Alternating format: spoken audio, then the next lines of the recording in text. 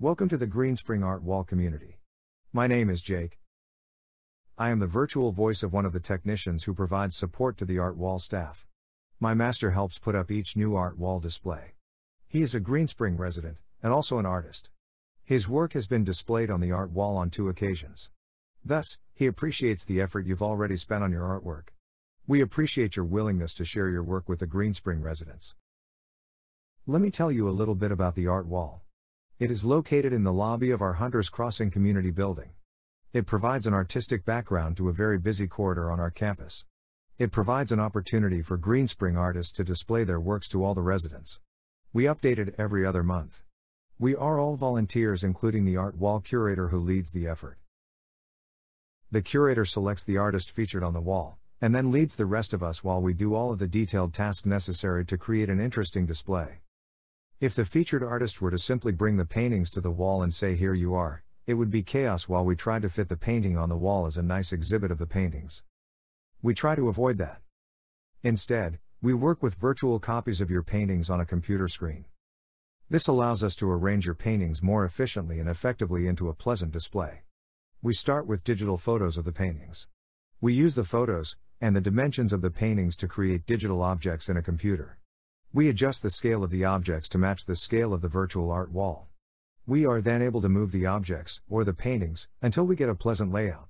Often we make several versions of the layout before we settle on the version we plan to use on Hang Up Day.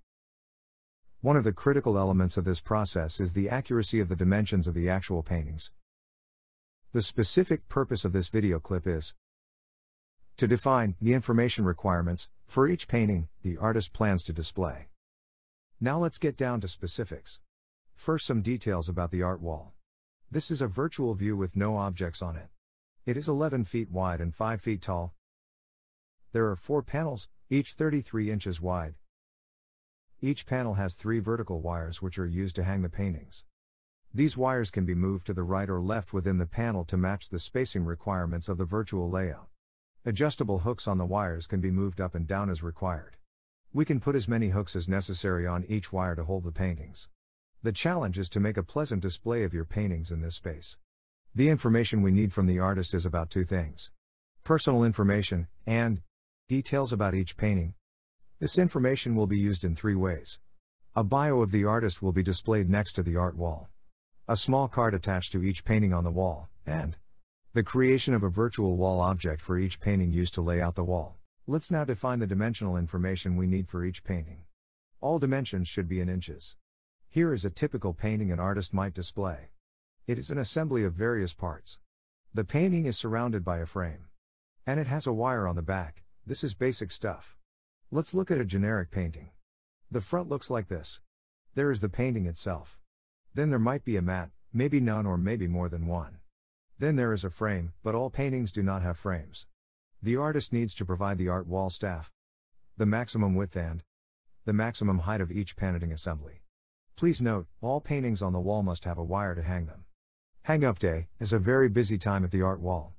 The old paintings have been removed and the artist has arranged to bring in the new paintings. There usually is about a dozen of them in boxes, piled against walls, or laying on chairs.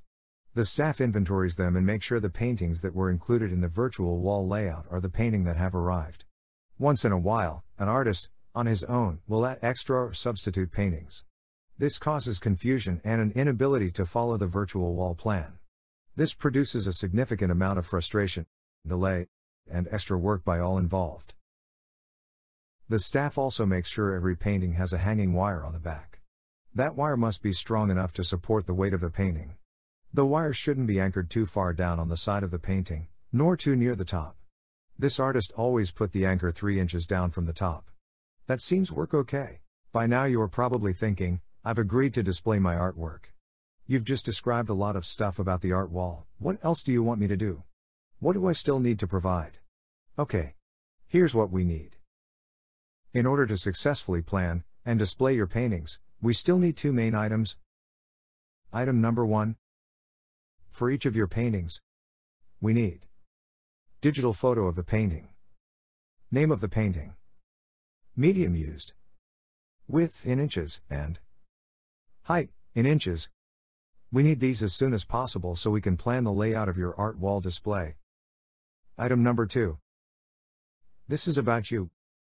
We need a one page, 8.5 by 11, biographical sketch about you and your artwork.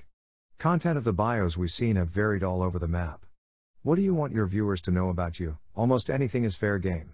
This can be delivered in final form on Hang Up Day. But it's a good idea to do it earlier. If you have any questions, do not hesitate to call the Art Wall curator.